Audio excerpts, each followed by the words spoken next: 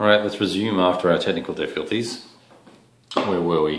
We were talking about the uh, the fairly modest advances that uh, the uh, oh golly, you know, I'm just having all sorts of issues with this little camera stand today.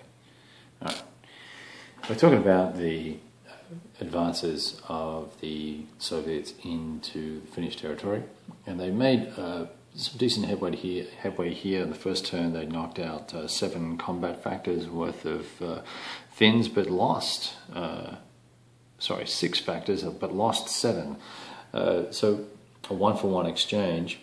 Uh, interestingly enough, as a uh, counter approach over in this area in Kuhmo, there was only one unit guarding this road here, and so the uh, the Finns decided to counterattack and, and, and knock that out.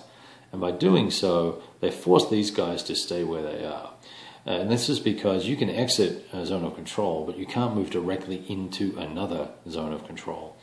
Um, and that just reminds me, those 113 chappies may not have a zone of control, or it might be a special rule where it's no zone of control in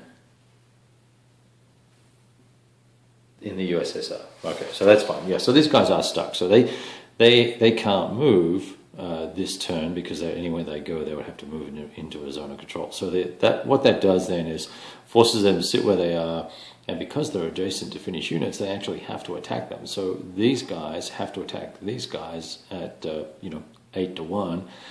I don't mind losing this unit. I'm okay with that. And these guys here, it'll be a three to one attack, and they'll probably win that battle. But we're not letting them penetrate deeper into the uh, into the Finnish uh, hinterlands.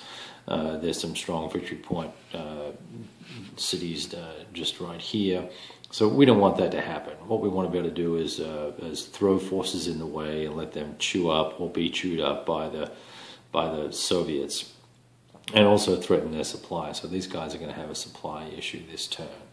All right, so that's kind of uh, the situation to be at the end of the movement for the Soviets. Uh, we've had uh, uh some muddling along over here. I'm not really sure what I'm supposed to do up in that end of the world. Uh, we killed two units here, or actually forced one to retreat and one died in the exchange. We lost a unit there uh, they're going to have issues uh, with supply uh, unless they that we move this headquarters, which we've elected not to for the time being.